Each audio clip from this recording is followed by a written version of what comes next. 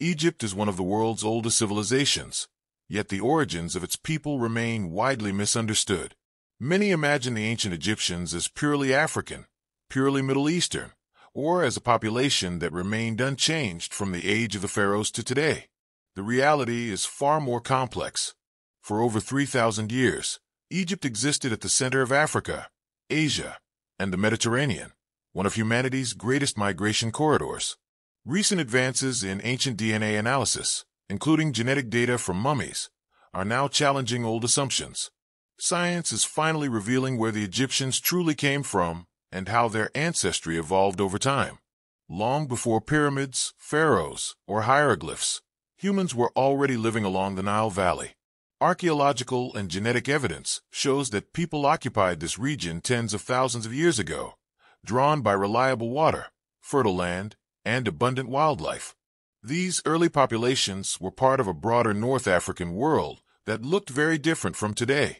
During wetter climatic periods, much of the Sahara was green, filled with rivers, lakes, and grasslands that supported human communities. The earliest inhabitants of Egypt were North African hunter-gatherers closely connected to populations across the Sahara and Northeast Africa. Genetic studies suggest these groups shared ancestry with ancient peoples living in what is now Sudan, Ethiopia, and the Eastern Sahara. Rather than being isolated, prehistoric Egypt was part of a wide cultural zone that stretched across northern Africa before desertification gradually pushed people toward the Nile. As the climate dried, the Nile became a lifeline, concentrating populations along its banks. Over thousands of years, these Nile-based communities developed local traditions, burial practices, and subsistence strategies adapted to their environment. Genetics indicates strong continuity from these early populations into later periods, showing that Egypt's population did not suddenly appear or arrive fully formed from elsewhere. Crucially, this deep prehistoric layer forms the foundation of Egyptian ancestry. Ancient Egyptians were not outsiders to Africa nor recent arrivals from Asia. They emerged from long-established North African populations, shaped by climate change, geography, and time. Understanding this prehistoric foundation is essential to understanding how one of the world's first civilizations could arise so early and endure for millennia. Around 3100 BCE, ancient Egypt unified into a single state, marking the beginning of dynastic civilization. Archaeology and genetics agree on a key point. This transformation was largely local. There's no evidence of a massive invading population replacing earlier inhabitants. Instead, ancient Egypt emerged from communities already living along the Nile who gradually developed complex social, political, and religious systems. Genetic data from predynastic and early pharaonic remains shows strong continuity with earlier North African populations, combined with moderate genetic ties to the Near East. This suggests long-term contact rather than sudden migration. The people who built the earliest temples and royal tombs were biologically similar to those who had lived in the region for thousands of years before.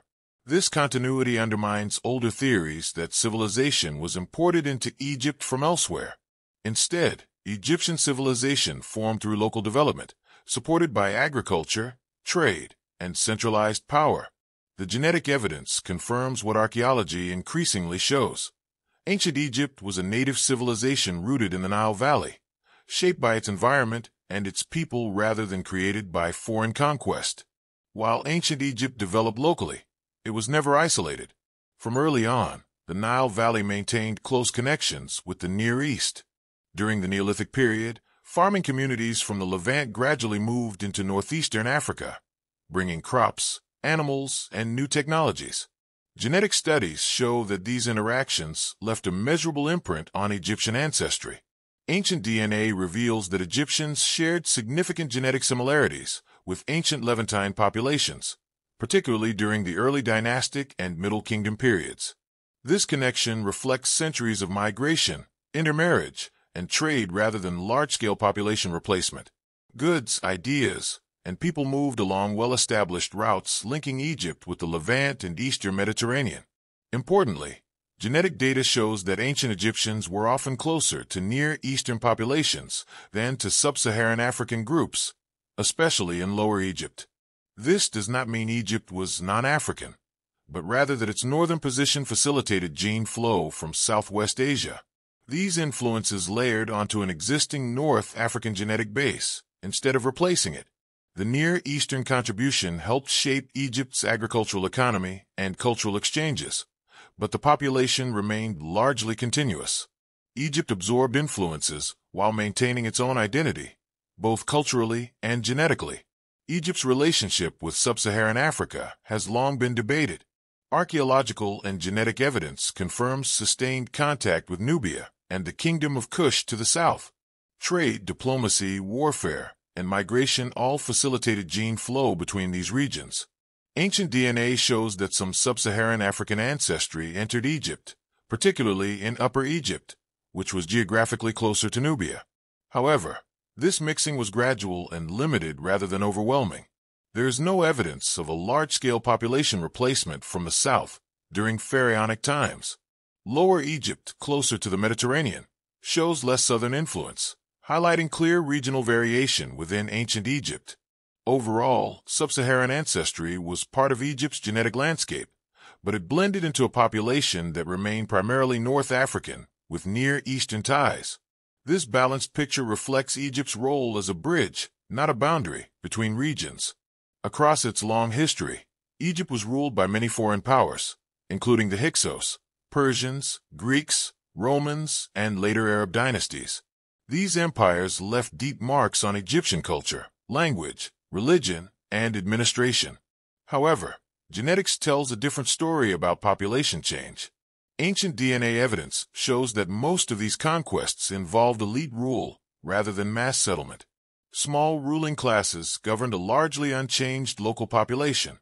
Studies comparing ancient Egyptian genomes across different periods reveal remarkable genetic continuity from the Old Kingdom through Roman times.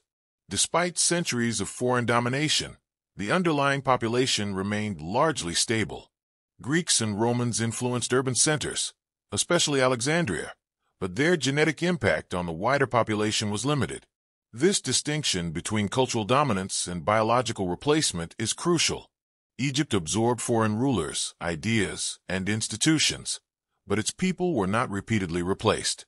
The major genetic shift seen in Egypt occurred much later, not during the height of pharaonic or classical rule. Modern Egyptians are not genetically identical to ancient Egyptians, but the differences are often misunderstood. Genetic studies show that the most significant changes occurred within the last 1,500 years after the end of the classical world. During this period, increased contact with sub-Saharan Africa through trans-Saharan trade routes brought new populations into the Nile Valley. This era saw the movement of people alongside goods, especially during the medieval period. As a result, Modern Egyptians show higher levels of sub-Saharan African ancestry than ancient Egyptians did. This admixture was gradual and uneven, with stronger effects in southern regions of Egypt and less impact in the north. Despite these changes, modern Egyptians still retain a strong genetic connection to ancient Nile populations. Core components of their ancestry trace back thousands of years, linking them directly to the people who lived along the river in pharaonic times. Modern Egyptians are best understood not as a replacement population, but as descendants shaped by additional layers of history.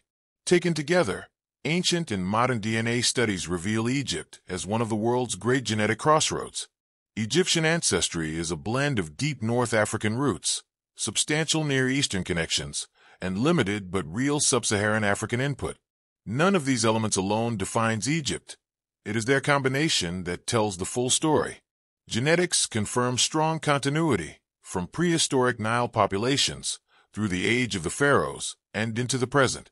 While the proportions of different ancestries shifted over time, the population was never wiped out or replaced. Instead, Egypt absorbed people slowly, reflecting its geography at the junction of Africa and Eurasia. This genetic pattern mirrors Egypt's historical role as a bridge between continents. Positioned between the Mediterranean, the Levant, and Africa's interior, Egypt connected worlds, biologically as well as culturally. DNA now provides scientific confirmation of what history long suggested. Egypt was shaped by movement, not isolation. The genetic story of the Egyptians is neither simple nor static. They were not an isolated people, nor were they repeatedly replaced by conquerors.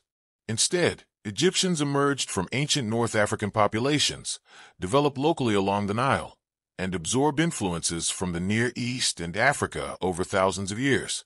Their ancestry reflects geography, trade, climate change, and time itself. Ancient DNA shows continuity beneath shifting empires, while modern genetics reveals how later movements added new layers. Egypt's people, like its civilization, were rooted in Africa, shaped by neighbors, and connected to the wider world.